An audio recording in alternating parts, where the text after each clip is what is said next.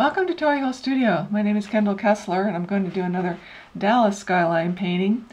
This time I wanted to do some, try to do something very different. As I said before, I always like to really experiment with these skyline paintings.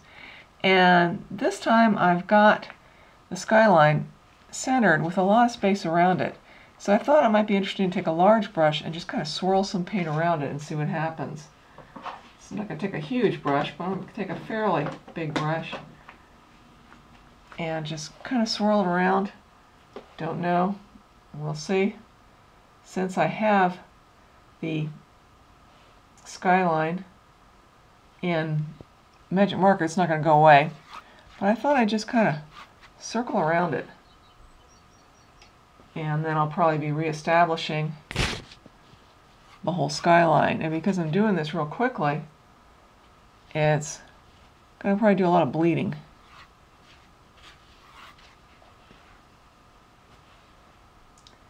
Really get into doing these skyline paintings.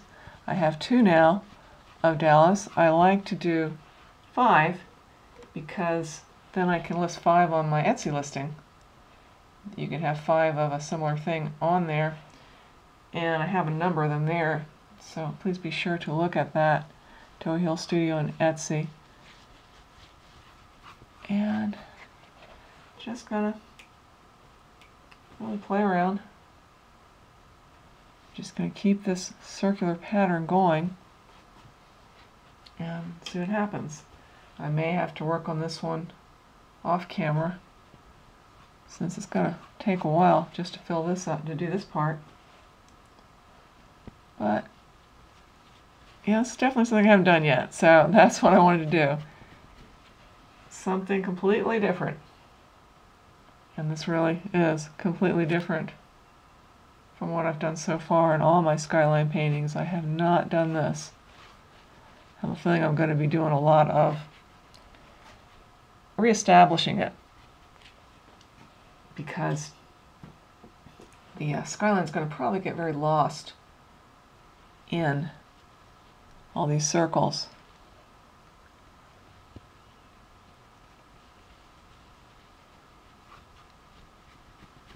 Yeah, it's really getting lost. That's alright. Can always go back into it. Wonderful thing about paint is it's almost always done in a lot of layers. Getting some nice bleeding and some you know some colors in between the colors that I think is going to be very interesting because I'm not thinking about the color hardly at all. I am just really getting the circular motion to see if that might make a very interesting expression. It may turn out to be a whole lot more of the expression of the painting than the skyline itself. Don't know. But it's going very quickly, that's for sure. Uh, probably not going to use the hair dryer and go back into it. I'm probably just going to mess around with this for a while until the whole canvas has this swirl. And then I'll decide. I've only been going for a few minutes and I do like to have these for about 20 minutes. I've been told that that's a, a good length for YouTube. And I've mentioned this before, that used to be, they say, get in there quick, you know, 50 seconds, people aren't going to watch for more than 50 seconds. And, oh, great. So I have a lot of real quick YouTubes. Some of them actually have my own music. Uh, I play my piano every day. I don't consider myself to be a great musician or anything, but it is a very important part of my life, and I am pretty advanced. Play real, can play real complicated stuff. I recently, well, it's not that recent, it's been a while now, I've been having trouble with technology as always. We older people tend to have that. I wrote a song and I actually got it copyrighted. And I'm going to do a YouTube with my shore work because it's a painting about the shore and have that in it. And I've got a recording device that also plays it back, which, you know, of course, most of them do and I had the worst time figuring it out. I couldn't believe it. I thought, good grief. I know I'm up there in age, but my goodness, should be able to figure this out. And I finally had to get somebody to help me, and now I know how to use it. So I'm going to set up my shore paintings, which is a real popular, important part of my work. I love the shore. and just have that music. It's called Rehoboth Beach Dreams.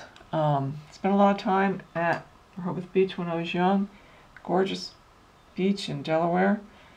And I think that this piece of music echoes what it's like. And I haven't studied music that extensively, but um, my husband studied a little more than me. And he said, Yeah, I, I feel like there's really water in this music. And I was just trying to compose anything because I'd never tried before. And I thought, that'd be fun because I have never in my life, I've just played mostly classical music because I just really, really like the classics so much. So I thought, well, why not?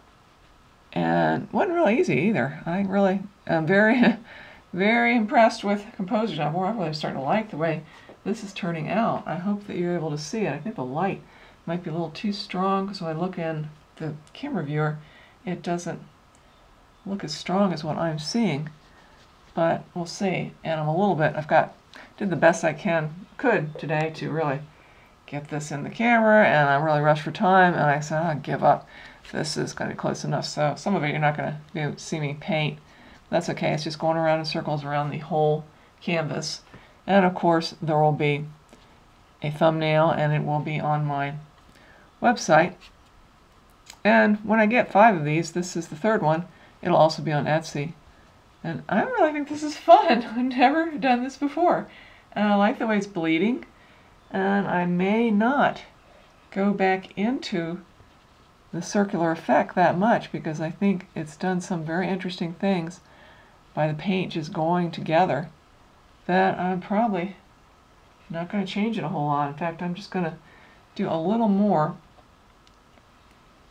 getting the color a little more intense, but I, I don't want to get to the point where I'm putting down paint on the dried areas because then the bleeding will go away. And I am really liking the way that's happening. It's giving kind of a, a mystical look to this painting that I think has turned out really well. So this may be a short one because uh, if I'm doing anything else, I am going to, uh, see I'm starting to do that, starting to lose the bleeding now. I am going to probably work on it off camera. Yeah, I better watch out. I'm going to start losing that. And I don't want to, and I don't want to get my hair dryer out. I think, it, oh there, that helps. Really like strong accents. And it's still bleeding there through there a little bit. So I think I'll get a smaller brush, a very small brush, and just go into the areas where there isn't paint and see if that looks better or worse. Art is such an adventure, as I've talked about many times before. It's, um, especially this kind, it's, you start out with an idea, and then it kind of takes over. Even when I'm working on my what people call representational work of the Blue Ridge, it still takes over at a certain point and starts talking to me because you can't really reproduce what's out there. Okay, I'm starting to lose it. You can only get a, uh, you know, you can just sort of get some stuff. Um, you know, think about it. If you could really reproduce what's outside, then if you took a picture of the sun, when you looked at that print, it would, if it was really this, if you'd really capture the sun, it would burn your eyes out. And that doesn't happen. Uh, photography is also a type of shadow of what we see. Really good one though.